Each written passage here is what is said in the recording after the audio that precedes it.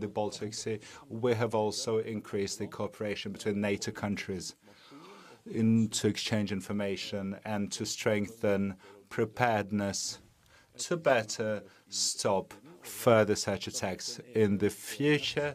We have created a separate unit to coordinate the measures at the NATO headquarters between the member states and also private industry, which are also important role in terms of this infrastructure to increase the security for undersea infrastructure. Last question, TT.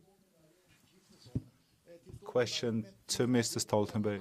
Is there any hope that already on Thursday we can get Turkey to agree that the trilateral memorandum uh, has been fulfilled?